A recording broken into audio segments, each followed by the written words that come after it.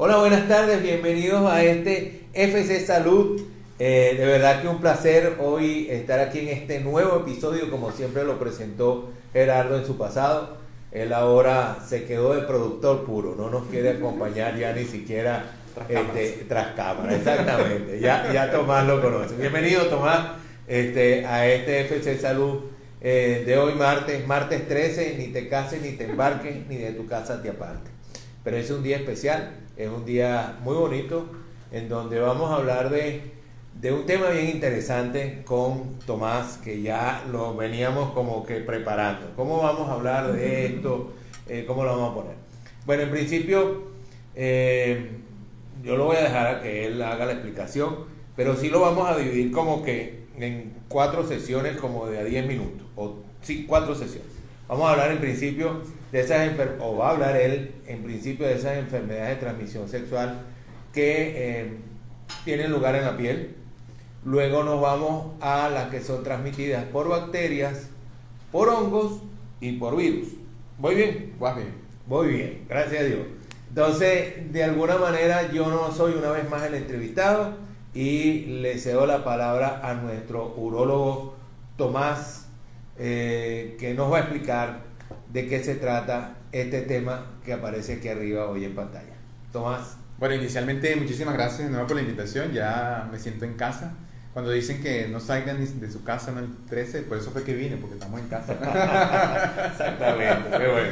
De, de, verdad para mí es un placer eh, siempre estar con ustedes y más también con la audiencia de alguna forma permite ese acercamiento con, con, con, el médico y también con el conocimiento que yo creo que estamos en un, en un momento donde los pacientes tienen que conocer sus enfermedades, tienen que conocer qué es lo que tienen y tienen que conocer también cómo lo pueden tratar, independientemente de que tengan que ir al médico, pero es importante la cultura. Y yo creo que en el caso del tema que vamos a tratar hoy de la enfermedad de transmisión sexual, creo que uno de los puntos importantes o importantísimos para la prevención es la educación, independientemente del tema de la relación sexual, creo que el, punto más importante es la educación. Y si un paciente está educado, es un paciente que puede prevenir este tipo de alteraciones. Y, de, y de, eso se trata de FC Salud.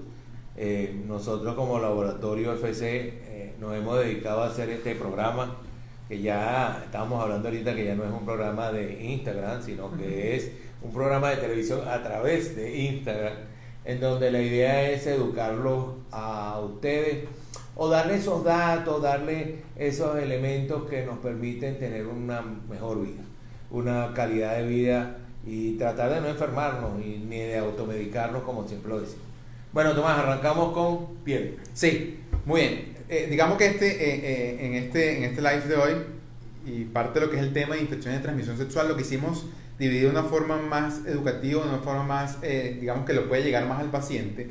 Y quizás una de las formas también que eh, consultan los pacientes es, mira, doctor, me salió una lesión aquí, doctor, me salió este tipo de lesiones, doctor, ¿qué puede ser? Y quizás una de las cosas que es importante que el paciente entienda es la orientación, ¿no? Y dentro de esta orientación vamos a hablar de cuáles son esas enfermedades de transmisión sexual que de alguna forma pueden tener algún tipo de alteraciones a nivel de la piel. Cuando nosotros las dividimos en esas enfermedades de transmisión sexual o esas infecciones de transmisión sexual más frecuentes, obviamente las enfermedades virales o por virus son las que, digamos, toman el casi que el 60-70% de las infecciones de transmisión sexual. Y dentro, dentro de estas vamos a hablar de tres principalmente, algo bien sencillo. Dentro de estas tenemos la enfermedad por herpes simple, tenemos la enfermedad por molusco contagioso, que es también conocido como la infección por el virus del papiloma humano, perdón, eh, el, condiloma combinado, perdón, y está el molusco contagioso, que también es otro tipo de infecciones que, aun cuando es bien frecuente, eh, digamos, tienen sus características, ¿no? Cuando hablamos de, del herpes simple, es importante mencionar que hay dos tipos fundamentales de virus, que es el virus del herpes simple tipo 1 y el virus del herpes simple tipo 2. Mucha gente plantea, o, digamos cuando uno empieza a revisar la literatura, hablaba de que el virus tipo 1 es principalmente a nivel de la mucosa oral y el tipo 2 a nivel de lo que es la zona genital. Esto obviamente con el tema de la práctica y que son unas prácticas bien frecuentes eh, sexuales, que es el sexo oral, esto digamos ha cambiado. Ya no podemos diferenciar lo que es el virus tipo 1 el tipo 2 dependiendo de la localización. Al final lo que se habla es que ah, ocurre una infección por el virus del herpes simple. Ahora, ¿cuáles son las características de, este, de esta lesión? Es bien, bien importante que es una lesión que inicialmente comienza como una vesícula, llamada de forma coloquial como una burbujita de agua, que en algún momento se pueden unir o confluir. Y eso va a ocasionar la presencia de una úlcera que es muy dolorosa. Realmente tiene un, periodo, digamos, de, como antecedente de haber tenido contacto sexual entre 2 a 12 días previo a la aparición de este tipo de lesiones. Realmente es muy contagiosa cuando los pacientes tienen la manifestación clínica, digamos, tienen las vesículas o tiene la úlcera, y después cuando empieza el proceso de cicatrización, forma una costra. ¿Sí? Es muy similar, yo les comento a los pacientes que es muy similar si han tenido antecedentes de varicela o lechina. lechina. ¿sí?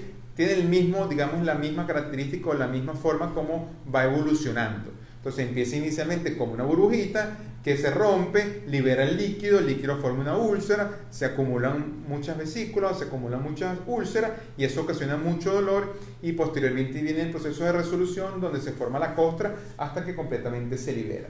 Justamente es importante que este es el momento de mayor eh, contagio, cuando está presente la vesícula, cuando está presente la burbujita de agua, porque la ruptura de esto va a condicionar obviamente la fácil transmisibilidad entre las parejas. Entonces es importante entender que cuando ocurre este, este periodo es, el, digamos, el periodo donde más frecuente se puede contagiar. Eh, esa úlcera eh, es igual en el hombre y en la mujer.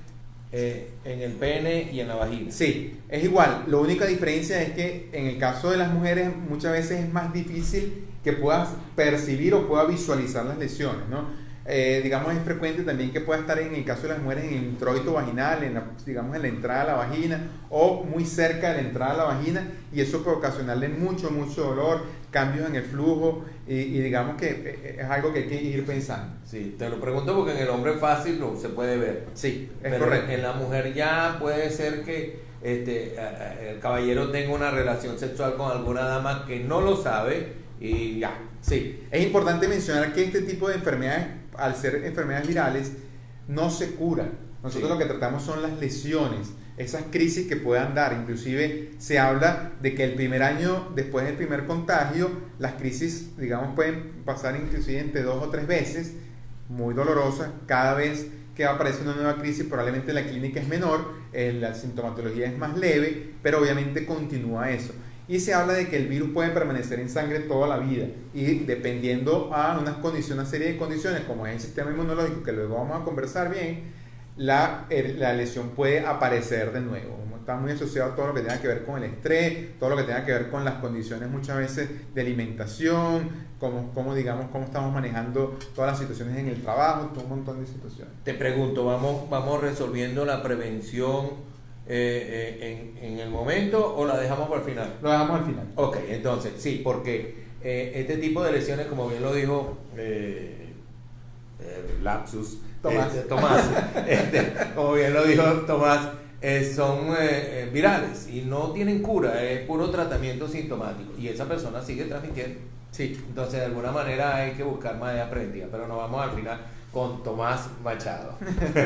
Seguimos con la patología, Tomás. Sí, entonces el segundo cuadro, obviamente que es bien frecuente y probablemente es la enfermedad de transmisión sexual más frecuente, es el, el virus causado por la infección por el virus del papiloma humano. Es importante decir que hay alrededor de 200 serotipos, solamente 50 o 60 son los que afectan al hombre. Si lo podemos dividir de forma grande, podemos hablar de que hay un virus de alto grado y un virus de, o de alto riesgo y un virus de bajo riesgo. El de bajo riesgo son los más frecuentes que producen este tipo de lesiones tipo condiloma, tipo verrugas, que son la manifestación más frecuente de estas lesiones y eh, digamos tal de alto riesgo que son los que producen el cáncer que bueno ya pronto se va a conversar también sobre eso. Un punto importante en el caso del virus del papiloma humano es que obviamente estas apariciones de estas verrugas al igual que el caso anterior puede tener un antecedente de haber tenido un contacto sexual que puede haber sido seis meses o inclusive de dos a cinco años se describe Realmente no es posible precisar el momento exacto en los cuales está el contacto, ¿sí? Inclusive hay, hay descripciones de 20 años después del primer contacto que ha podido, aparecer una clínica, ¿no? El, caso fundamental en el caso de los hombres es que el 70% de los pacientes puede cruzar como un portador asintomático. Eso quiere decir que tiene el virus, pero no lo puede detectar o no da ningún tipo de lesión. No lo sufre. Es correcto. El otro 70, el otro 30% son estos pacientes que de alguna forma hacen verrugas genitales.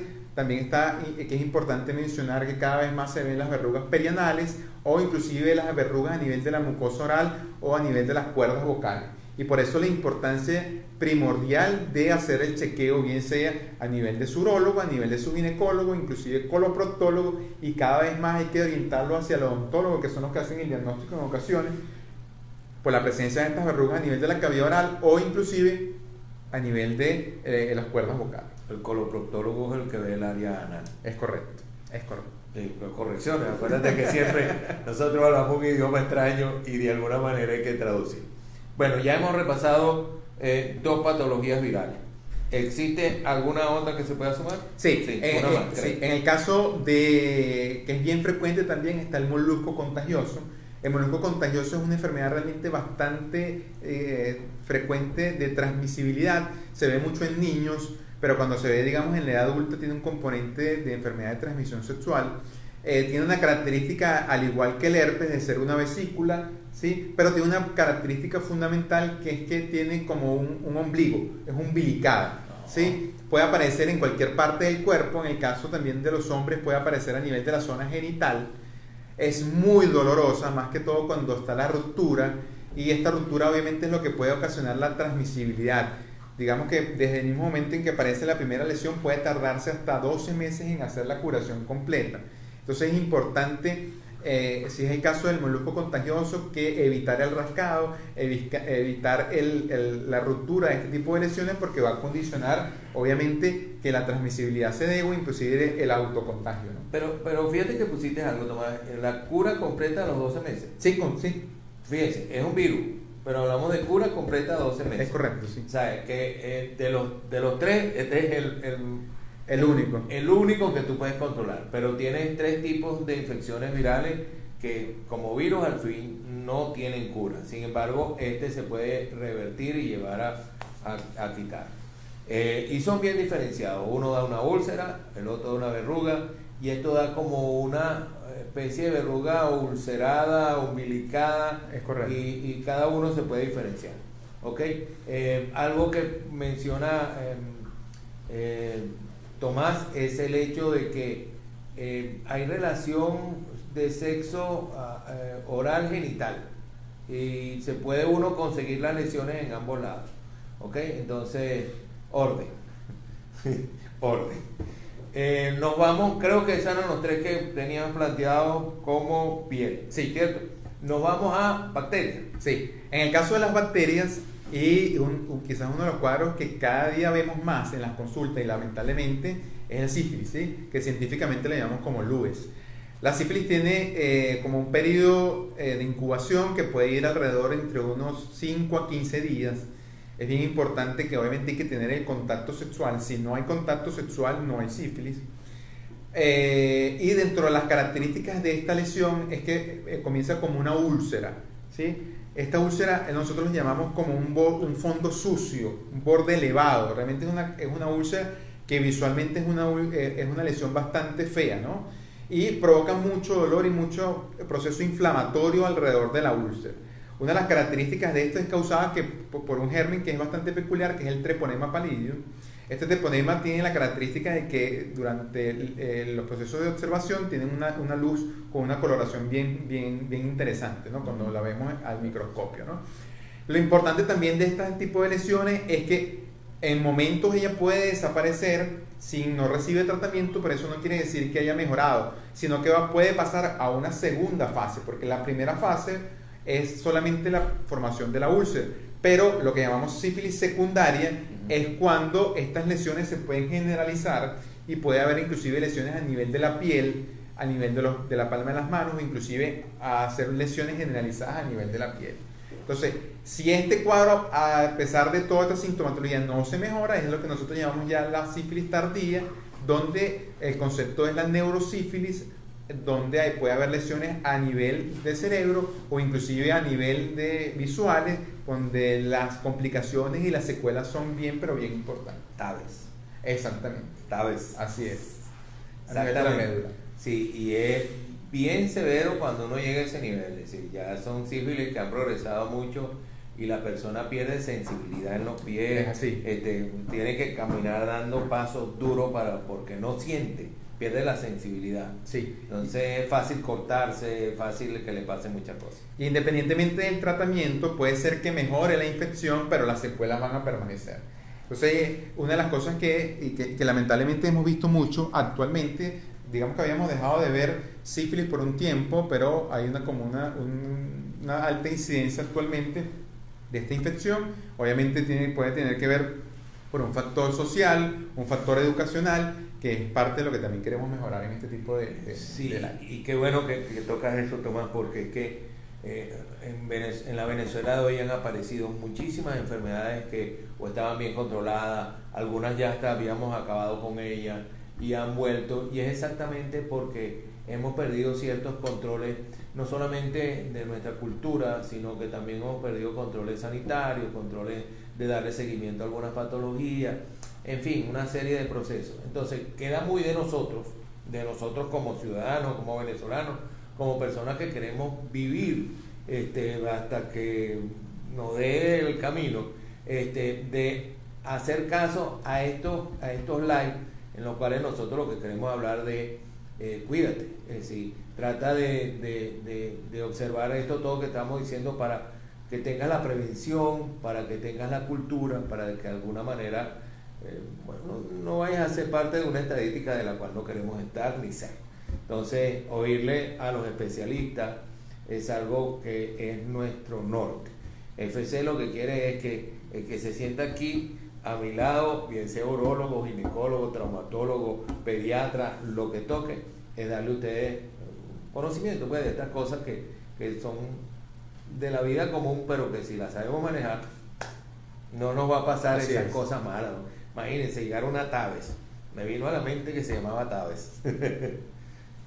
bueno, nos hablamos ya sífilis. Eh, gonorrea. Sí, en el caso de la gonorrea, digamos que es una enfermedad que no da contacto o no da lesiones a nivel de piel. ¿sí? En este caso es lo que nosotros llamamos uretritis. ¿Qué sería la uretritis? La uretritis es un proceso infeccioso donde hay un proceso inflamatorio e infeccioso a nivel de la uretra. ¿Y qué va a ocasionar esto? Que este proceso infeccioso comienza a liberar pus a nivel de lo que es la, el, el conducto uretral. Esto ocasiona mucha sintomatología urinaria, mucha sintomatología irritativa, mucha sintomatología que condiciona, digamos, molestia a nivel del, del hombre para orinar y eh, digamos que es lo que, lo que más angustia. Obviamente la expulsión de, de, secreción purulenta es más frecuente en horas de la mañana y es lo que ocasiona obviamente que, eh, digamos, eh, consulte el paciente. ¿no? Sí, sí. gonorrea, sífilis. ¿Cuál me falta? Sí, eh, en el caso de la uretritis también hay que mencionar que hay un tipo de uretritis que es lo que nosotros llamamos uretritis no gonocóxica. Y es causada por un, por un germen, por una bacteria que se llama micoplasma. Y es importante mencionar que alrededor del 70% de las infecciones por micoplasma puede pasar desapercibida. Inclusive puede evolucionar a otros procesos infecciosos. En el caso también puede haber, no solamente en caso de uretritis, también procesos bien sea como, como pueden ser lesiones a nivel o dolor a nivel de testículo, que puede ser la orquitis, procesos también infecciosos, o inclusive a nivel del epidídimo, ¿okay? y ocasionar lo que se llama una orquiepidimitis causada por clamidia. Entonces es importante entender que esto puede ocasionar secreciones, puede ocasionar molestia, puede ocasionar de igual forma eh, alteraciones a nivel de todo lo que es el sistema urinario y eh, digamos muy muy muy muy característica la sintomatología. Yo, me estoy riendo porque pues, nosotros almorzamos antes de venir a esto y, y, y Tomás me pasa un papelito donde, donde me pone micro yo no sabía si era micoplasma o era micosis. Este, era micoplasma. bueno, pero mal de médico, escribimos todo de una forma este, garabateada, ¿no? Eh, bueno, yo creo que ya repasamos las tres bacterianas este, y vamos bien en tiempo. Nos vamos a micosis. Eh, del micoplasma pasamos a la micosis.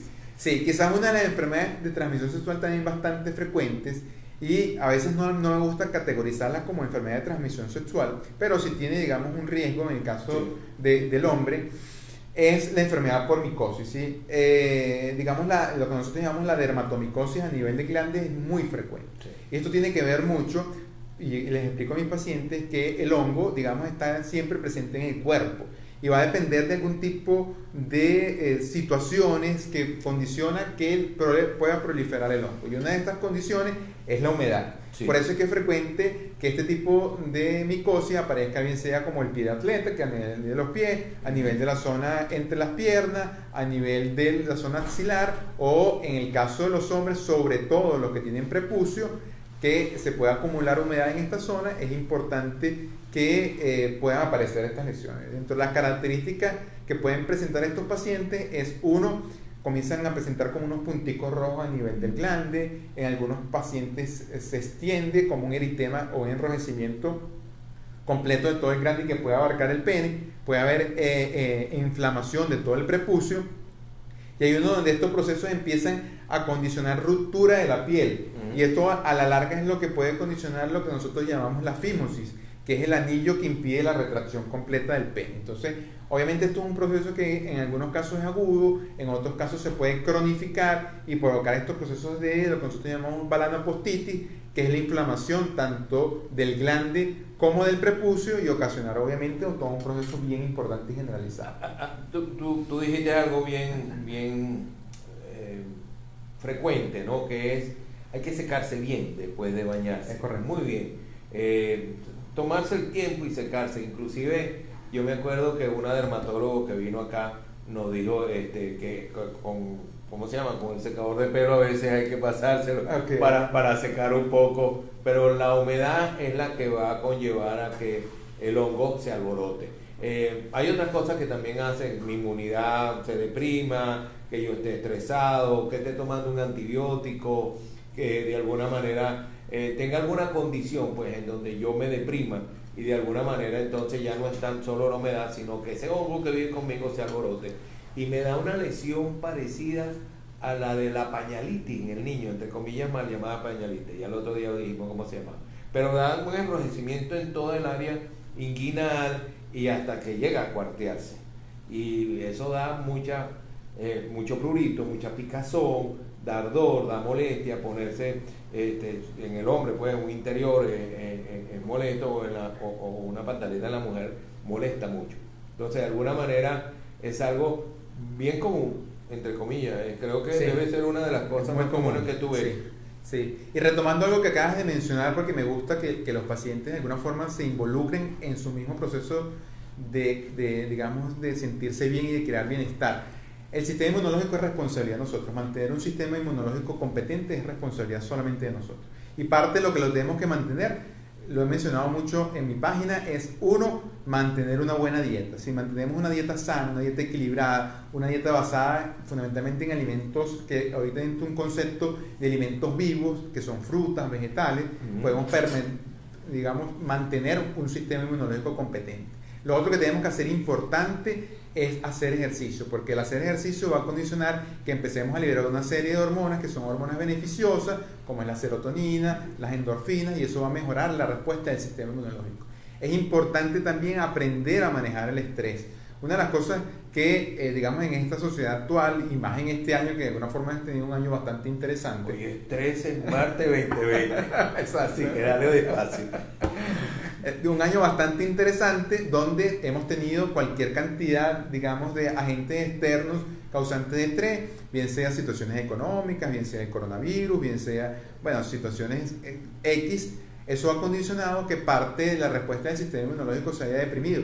Y hemos visto en la consulta muchos pacientes en los cuales han tenido recurrencia de estas enfermedades virales, llámese herpes, llámese virus del papiloma humano, llámese candidiasis, y obviamente parte también de la respuesta que nosotros le podemos condicionar al tema del COVID es por tener un sistema inmunológico competente. Entonces, parte también es crear momentos de cómo podemos gestionar el estrés. Una de las cosas que yo les recomiendo muchísimo es hacer meditación, tomarse 5 a 10 minutos de una respiración tranquila, hacer ejercicios de respiración, hacer ejercicios de visualización, porque de alguna forma eso va a condicionar que todo lo que es la liberación de hormonas del estrés, cortisol y adrenalina empiecen a disminuir y podamos vivir una vida mucho más tranquila y relajada, independientemente de todos los factores externos. Sí, qué bueno eso que, que estás exponiendo, Tomás. Creo que por ahí nos viene el cafecito que nos ofrecieron hace rato. Para, Eh, bajar, sí, para bajar también. Para bajar, exacto. Pero lo que está diciendo Tomás es correcto. Eh, el hecho de que nosotros eh, mantengamos una salud extraordinaria depende de mí. El que yo sea feliz depende única y exclusivamente de que yo decida hacerlo.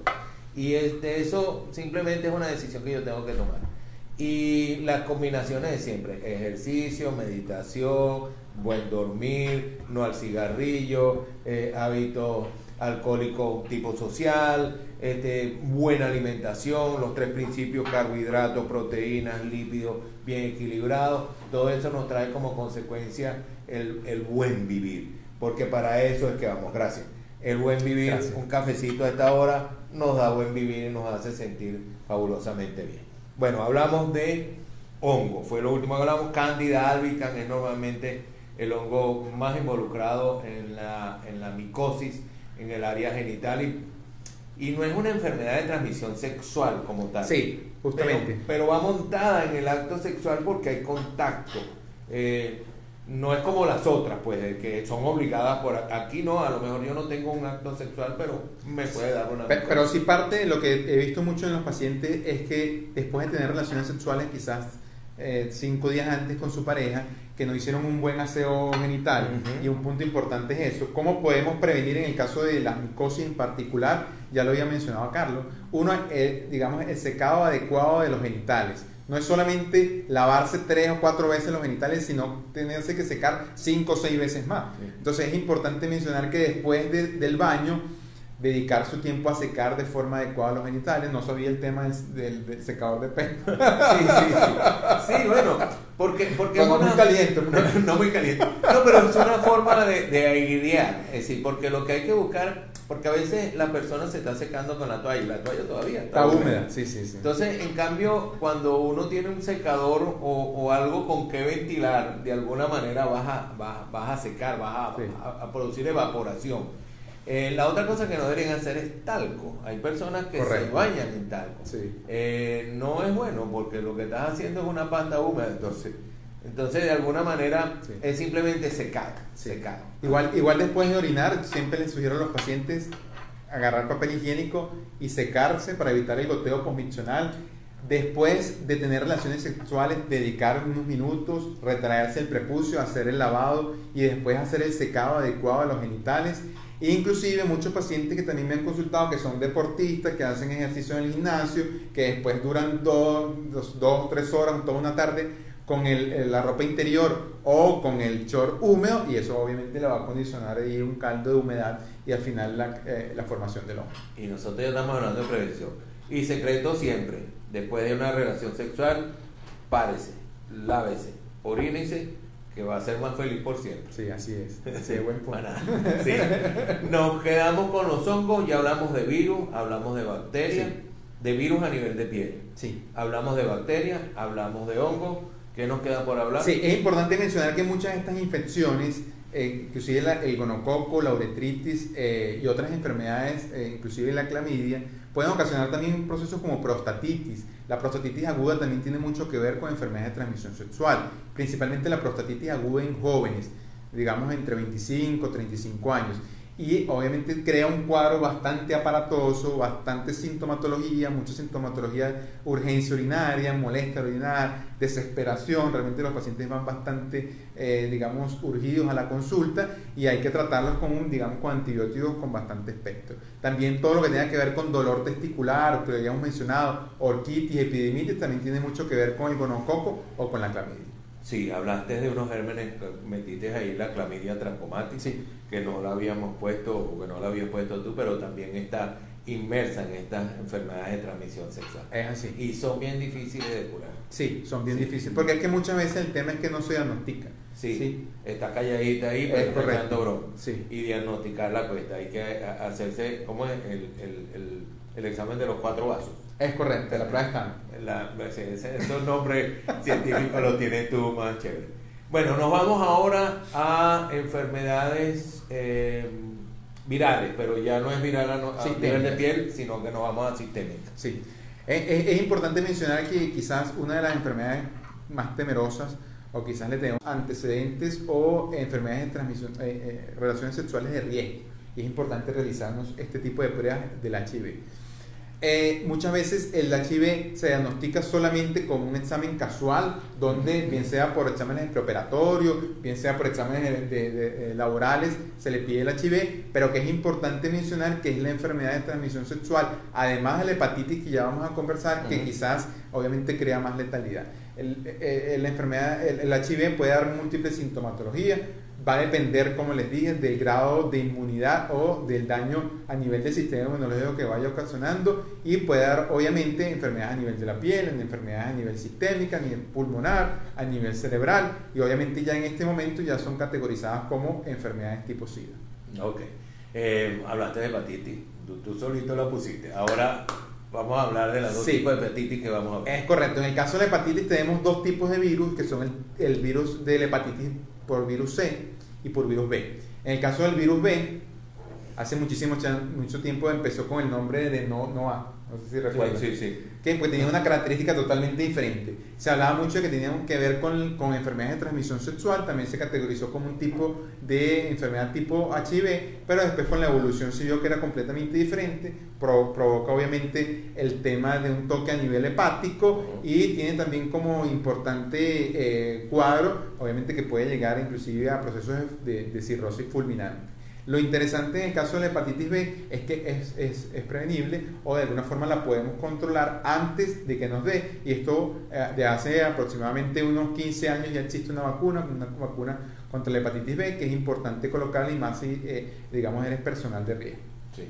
Hepatitis B. B. hepatitis C. Sí, en el caso de la hepatitis C, al igual que la B, aunque es un componente menor, tiene mucho que ver con transfusiones sanguíneas y obviamente también con el componente de eh, enfermedad como infección de transmisión sexual.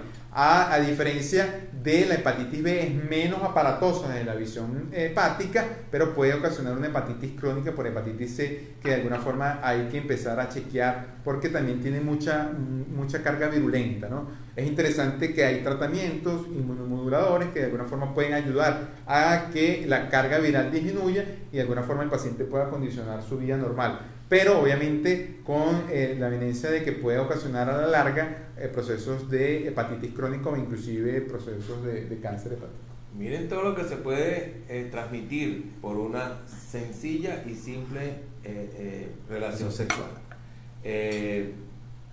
depende con quién, depende en qué condiciones, depende de las condiciones suyas también, porque a veces mi sistema inmunitario no es capaz de defenderme a lo mejor por algo tan sencillo, y de alguna manera, este, como el tiempo en Instagram es severo, nosotros, o, Tomás, pues recorrió la, los cuatro eh, vías que habíamos hablado.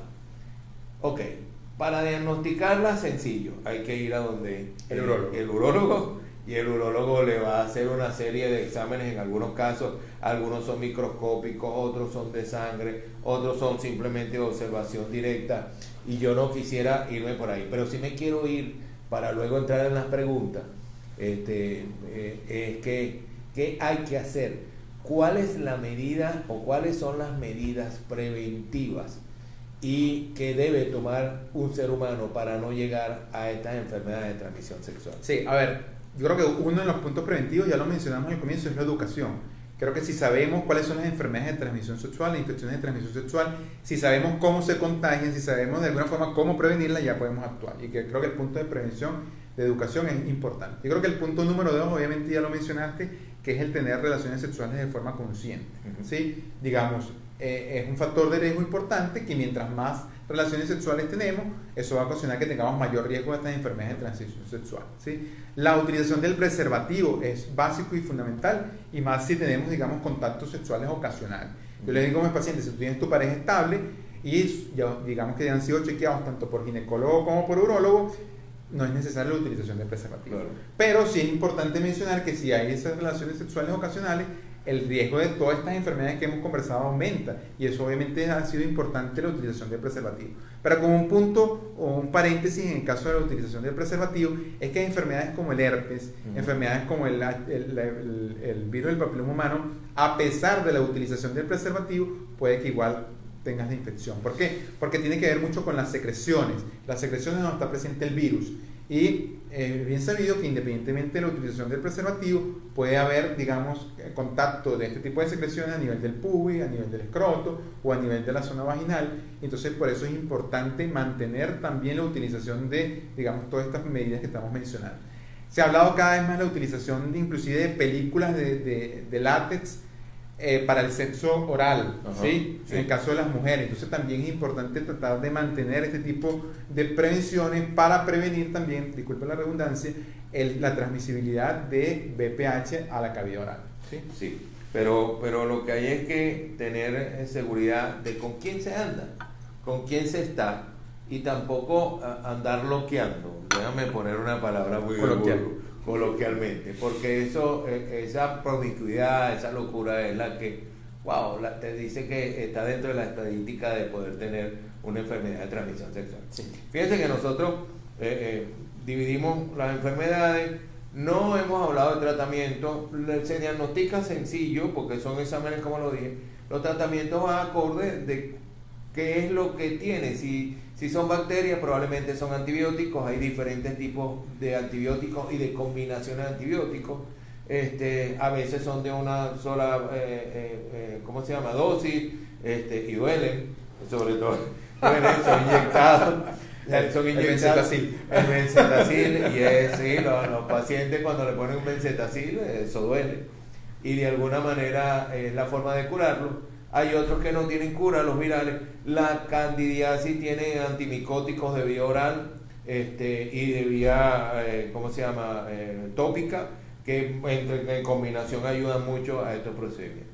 Pero lo más importante, por eso no hablé de eso ni le pregunté a Tomás, sino es la prevención. La educación, la prevención, el tomar en cuenta de que eh, yo puedo prevenir estas enfermedades Solo si sé con quién ando, cómo ando, por qué ando y hasta dónde ando. Si yo no cumplo con esas cuatro cosas, yo puedo ser parte de una estadística. Sí. Y en, el caso de, también de la prevención, en el caso del virus del papiloma humano, hace alrededor de unos 10, 15 años comenzó la producción de la vacuna, ¿sí? de la vacuna del virus, que es importante, cada vez se, se hacen más estudios de cómo podemos prevenir. Es interesante mencionar que hace aproximadamente 15 años solamente se pensó que se le iba a colocar a niñas que no habían tenido relaciones sexuales, eso ha cambiado. Actualmente se considera que se le puede colocar inclusive hasta los 25 años en caso de hombres y mujeres y cada vez hay más estudios donde avalan que hasta los 45 años en el caso de hombres y mujeres es útil. Porque vamos a prevenir dos cosas. En el caso de los hombres, la prevención tanto de la presencia de verrugas como la transmisibilidad o la posible transmisibilidad de enfermedades de alto riesgo. Y en el caso de las mujeres, de igual forma, lo que es la presencia de verrugas y la posibilidad de tener o de padecer de un cáncer de cuello uterino. Entonces es importante, digamos, la promoción y la colocación de la vacuna, en, digamos, en este grupo etario. Sí, por aquí tuvimos nosotros a la doctora Lina Figuera que nos habló bastante y hasta nos puso precio de cuánto costaba la vacuna y, por ejemplo, países como Australia, que donde el control del cáncer y, de este tipo de enfermedad pues, va muy bien avanzado. Eh, a los caballeros, eh, con respecto a estos cánceres, este, también les recomendamos la circuncisión. Eh, demostrado, las mujeres judías no sirven de, de, cáncer uterino en vista de que hay mucha relación en este tipo de, de enfermedades de transmisión sexual. Em, yo creo que hemos llegado a los 45 minutos a una velocidad, pero fabulosa. Se ha explicado todo. Este, alguna cosa que falta probablemente va a salir. Hasta cafecito nos dieron. Eh, tengo a Gerardo de aquel lado, que ahora no. Ahora es puro producción. El hombre es productor total, dejó la locución de medio lado y nos va a decir cuántas preguntas hay. Así es, doctor, tenemos muchísimas preguntas y por acá nos dicen, ¿Cómo manejar las relaciones sexuales en tiempos de COVID-19? Eh, sí, eh, claro, ahí estamos hablando de la transmisibilidad del COVID, ¿no? Es importante que en este caso eh, tenemos que saber, el, digamos, a qué contactos ha tenido la persona con que vamos a tener relaciones, si ha tenido contactos de riesgo de pacientes que hayan tenido COVID, inclusive se plantea que si son contactos casuales deberíamos, digamos, mantener un, no sé, un tapaboca ahí, pero obviamente es un, tanto lo que se dice y otra cosa lo que se hace, ¿no? Pero yo sí creo que es importante, digamos, eh, sincerarnos si hemos tenido algún tipo de síntomas eh, tipo COVID, eh, bien sea en procesos respiratorios, procesos tipo tos, malestar, porque obviamente eso va a ocasionar que el riesgo de transmisibilidad de las enfermedades tipo COVID sean, sean más altos. Cuando llegó la pregunta, yo me reí un poco porque dije, pregunta difícil. Porque ¿cómo hace uno para estar con una pareja y no poderla besar en un momento de, de, un acto sexual, ¿no? Pero bueno, eh, hay un poco de lotería en esto, ¿no? Sí. Eh, pero siempre importante saber eh, si ha tenido contacto con alguien con COVID-19. Por acá nos dicen, ¿puedes hablar un poco de la vacuna de PPH? Sí, a ver, ya lo hemos mencionado previamente. Hay dos, digamos, hay dos tipos grandes de vacunas. Hay una que viene para cuatro serotipos, hay una que viene para nueve serotipos. En el caso de Venezuela, la que está llegando es la de cuatro serotipos. Son dos serotipos para las enfermedades que los tipos de bajo riesgo, que son las que van a transmitir, transmitir el, tipo verruga o condilomas, y dos serotipos para la prevención de todas las enfermedades eh, tipo cáncer, que es el cáncer anorrectal, el cáncer eh, cuello uterino o de la mucosa oral. Y en el caso de los nueve, tiene cuatro para los tipos de verrugas eh, y, y, cinco para la formación o los tipos que son los que, digamos, predisponen el cáncer de cuello uterino. Consejo si puede conseguir la vacuna, si sea de los cuatro, es bueno. póngasela, hágalo a su niña. Eh, o si usted está en una etapa eh, eh, de juventud y hasta de juventud prolongada, hágalo, nunca es tarde, porque lo importante era la segunda parte que podía tomar, cáncer de cuello uterino. Y es la segunda causa de muerte y la segunda causa de muerte en la mujer. Sí, correcto. Por acá nos llega otra pregunta y nos dicen, pequeñas rosetas en piel puede ser infección. ¿Esto pica? Sí, una de las cosas que es importante que el hombre sepa, toda lesión en piel, toda lesión mancha, toda lesión verruga, toda lesión úlcera, todo no es normal. Nada de eso es normal en el pez. Entonces, si es importante que si tenemos alguna lesión, es también importante consultar al médico porque es el médico el que se va a encargar no solamente de hacer el diagnóstico. Me hace muchas preguntas por Insta, doctor, tengo esto, tengo esto, tengo esto. Mira, lo mejor es examinarte, lo mejor es evaluarte, porque no solamente es la mancha, sino un montón de otras sintomatologías que es importante evaluar. Entonces, puede ser desde una simple micosis hasta un proceso infeccioso mucho más severo, y por eso es importante la evaluación urológica. ¿Hay alguna evidencia física que permita saber si la persona tiene sífilis? Sí, en el caso, como les mencioné, eh, la sífilis primaria es la lesión ulcerosa. El tema de la lesión ulcerosa es que tiene un tiempo. Puede ser que desaparezca, pero realmente no ha desaparecido la lesión. Puede ser que esté en un periodo de latencia y que estemos llegando a la sífilis secundaria donde hay lesiones a nivel de piel. Pero la sífilis realmente tiene como un antecedente importante la aparición de esta úlcera.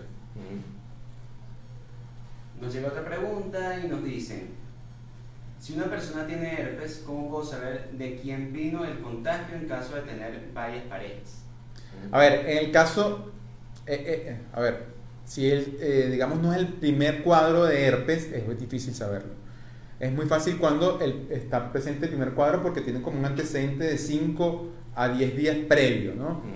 Pero si ya ha sido procesos recurrentes de herpes, es bien complejo saber de dónde vino la lesión inicial o si usted hace 5 o 10 días antes tuvo un desorden entre varios. Exacto. Bueno, Entonces, sí, porque esa es la otra parte. Eh, eh, está bien la propuesta que tú pones de si son 5, 10, 15, 20 días, pero con una sola persona. Claro. Pero si hubo desorden, este, no sé, hay que averiguar cuántas de esas otras personas este, presenta algún signo o algún síntoma de, de, de nos llega otra pregunta y nos dicen, ¿qué consecuencias puede tener el sexo oral pareja única? Gracias, doctor. A ver, volvemos a lo mismo. Si nosotros tenemos, no solamente es pareja única, es los antecedentes sexuales de esa pareja, ¿no? Es importante comentar, es importante, digamos, dentro de, ese, de, de esa conversación entre las parejas, saber si hay un antecedente de alguna enfermedad de transmisión sexual, ¿no? Si no hay ningún antecedente de enfermedad de transmisión sexual, no hay ningún tipo de riesgo en las prácticas, bien sea el sexo oral. No hay ningún tipo de enfermedades si ambos estamos sanos, o sea, no hay ningún riesgo. Lo que es importante es hacerlo con suavidad. Y conocer bien a la pareja. Claro. Como es que alguien dice que del ombligo para abajo No se conoce nada. No se conoce nada. Eh, nos llegan otras preguntas, en este caso nos dicen, en el caso, eh, en el caso de herpes, si hay contacto por sexo oral, ¿se puede manifestar en la garganta? Sí, puede haber úlceras a nivel de la boca, a nivel de la mucosa, digamos, a nivel de la mucosa bucal o inclusive a nivel de todo lo que es la orofaringe, a nivel de la garganta. pues. Sí, eh, y cuando esas lesiones eh, se dan, eh, hay que ir rápido. eh, en este caso, a lo mejor no al urólogo, sino que hay que ir en todo caso a un otorrino. otorrino, sí. Para que el otorrino entonces diagnostique, va a hacer algunos estudios hisopados y todo. Y luego a lo mejor después le dice, vaya al urólogo también. Pero de alguna manera eh, es el otorrino el que tiene eh, la especialidad adecuada para estos diagnósticos. Nos llega otra pregunta y nos dicen, ¿después de cuánto tiempo después de contraer VIH me pueden aparecer en los exámenes o los síntomas? Creo que se refiere a la persona. Oye, eh, eso en los es- exámenes y en los y Sí, síntomas. eso es. Bueno, entiendo como la entiendo por la pregunta de después de tener con- primer contacto con HIV, ¿cuándo puede aparecer, eh, digamos, el- en, en el laboratorio? Hay un periodo que se llama periodo de ventana que puede estar entre 3 a 6 meses. ¿ok? Por eso es importante que si hemos tenido alguna relación sexual de riesgo o que esta persona nos dijo en algún momento, mira, me hizo un examen y mm, me salió HIV, ¿cuánto tiempo tengo que esperar para realizarme el examen? Yo les menciono a- los pacientes que tienen que hacérselo de 3 a 6 meses y luego cada 3 meses, porque este periodo de ventana puede extenderse inclusive hasta los 2 años. Porque después de los 2 años que podemos decir, bueno, no hubo riesgo, no hubo contacto. No pasó nada. Ahora, en el caso de la sintomatología va a depender de lo que mencionamos anteriormente del sistema inmunológico. Si tienes un sistema inmunológico competente, si de alguna forma te estás cuidando, si de alguna forma estás manejando la enfermedad, en este caso, eh, como te lo está orientando el infectólogo, la probabilidad cada vez, inclusive con cada los medicamentos son más efectivos, la probabilidad de desarrollar SIDA es menor. Sí, lo- lo- los virus son eh, unas moléculas, unas estructuras, porque no- yo no lo puedo cali- calificar de bacterias, ni cero, ni nada, que tienen la característica de aprovechar al ser humano que está deprimido, desequilibrado, este, estresado, y es ahí en donde él hace fiesta. Por eso es una enfermedad en donde usted quiere que lo ubique, respiratoria, órganos sexuales, este, gástricos, donde, donde usted quiera que lo ubique, que va a depender de cómo se encuentre usted.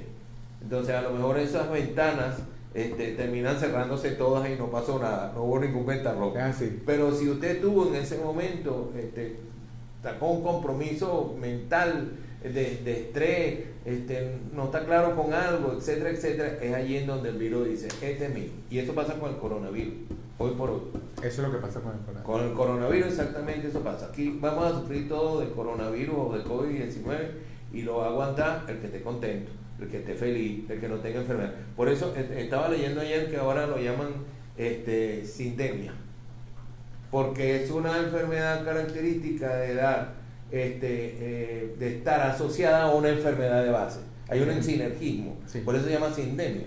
Entonces, de alguna manera, este, si usted está estresado, si usted está preocupado, si usted está- es hipertenso no controlado, si usted es diabético no controlado, o pulmonares.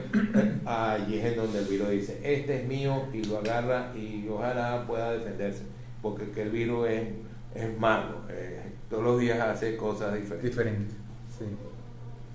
Referente a la vacuna BPH, si el paciente ya tiene el virus, ¿se la puede colocar? Sí, inclusive parte de mis recomendaciones es que así tenga verruga. Lo ideal es tratar primero la verruga y después colocársela, ¿no? Porque, como les digo, va a depender del serotipo. Si inicialmente tenemos el contacto con un tipo de, de- de serotipo, pero vamos a colocar la vacuna a otro serotipo, la probabilidad es que pueda haber inclusive una respuesta cruzada. Cruzada. Y esto disminuir la incidencia de recurrencias de las verrugas. Y de igual forma, como les mencioné, también va a disminuir la incidencia de la propagación de infecciones por alto, de alto riesgo.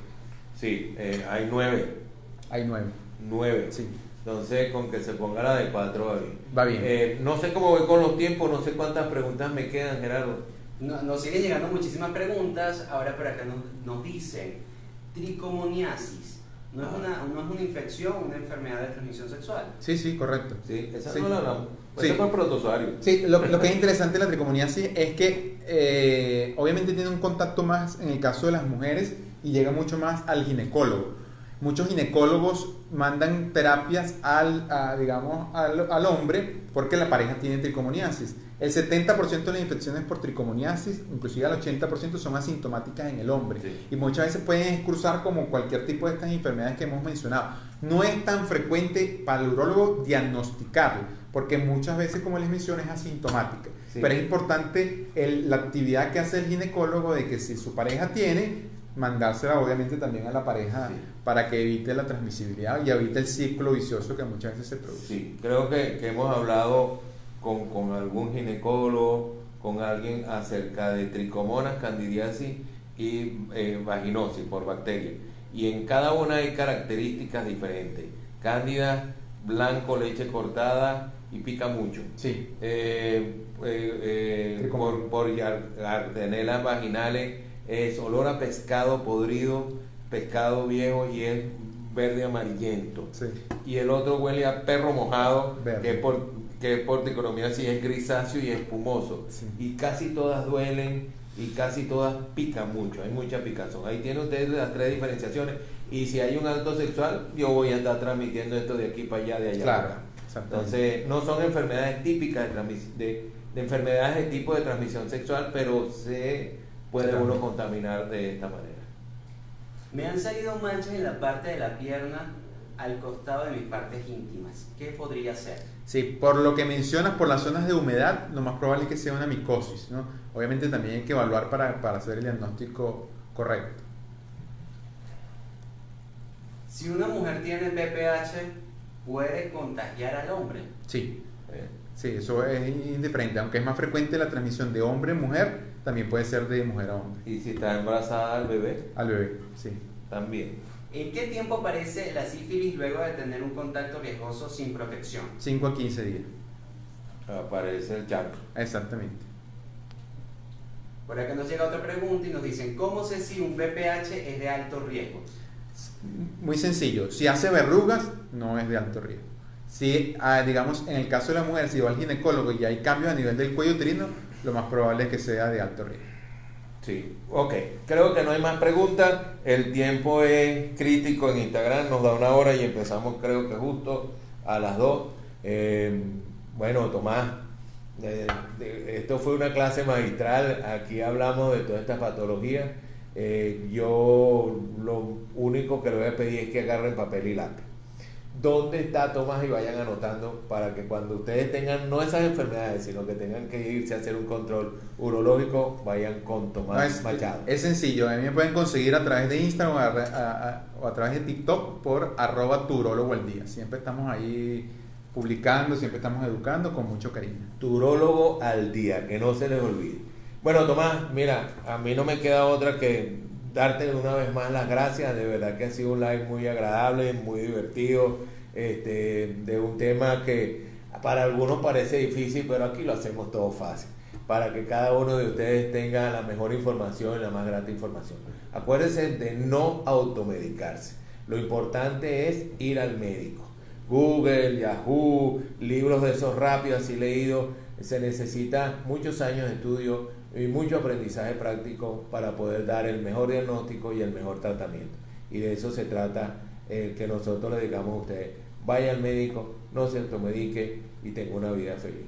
Por mi parte no me queda otra que despedirme, darle las gracias a nuestra producción, al señor Gerardo Frey y a la señora Fara Arbeláez, quienes son las personas que producen este programa que les llega a ustedes martes y jueves de 2 a 3. Los esperamos el jueves por su arroba FC Piso Farma para que tengan un nuevo episodio de FC Salud. Hasta luego y buenas tardes.